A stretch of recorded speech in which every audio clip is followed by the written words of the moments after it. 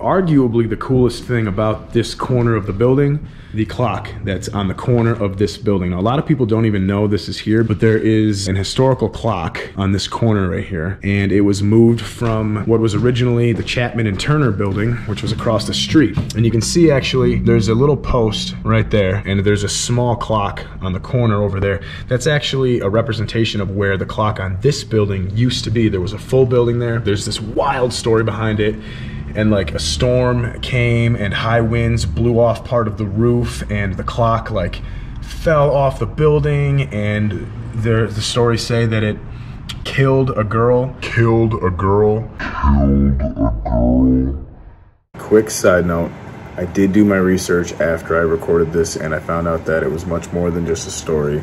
It was true it was a couple, Mr. and Mrs. Frank Hendrickson, whose lives were claimed in 1954 during Hurricane Hazel. When I was telling the story, it was really just a ghost story that I had heard. So condolences with the family members. Uh, this was not that long ago. So moving on the Historical Society uh, refurbished it and then they relocated it to here on this building. There's actually a plaque downstairs that commemorates it and talks about it a little bit. So through this door is the clock. Without further ado, here it is.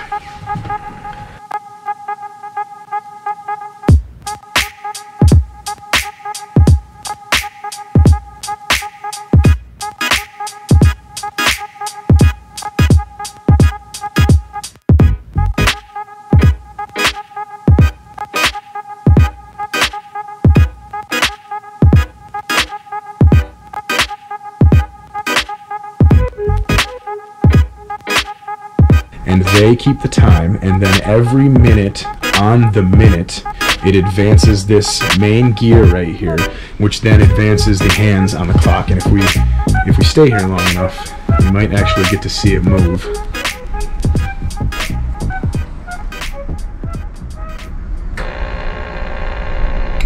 There it goes.